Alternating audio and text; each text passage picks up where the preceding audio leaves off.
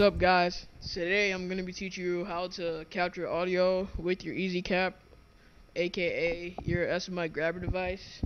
Um, but first off I would like to thank Real Gaming XP, um, the whole clan for just starting off my channel. Thank you guys. But most of all J Coleman 0824 for holding the um, giveaway and I won an EasyCap.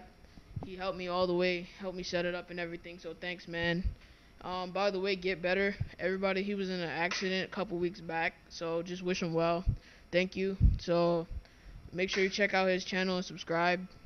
Alright, now first off, I'm on Windows XP, so I don't know if this will work for Windows 7 or Windows Vista or Mac or whatever, but you can try it.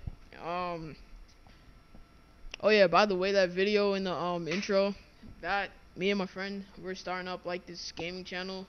It's called Eat Sleep Game Productions or ESG as you've seen it. Make sure you guys uh, check that out. Well, you can pay me for more information.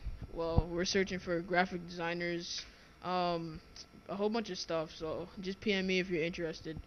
Um, now, first off, you want to open up AMCAP and make sure you go to devices and then make sure your SMI grabber device is checked and then make sure audio is on none and then make sure capture audio from video sources checked. And then once you click that, the screen will go black for a couple of seconds. And then you want to go to capture.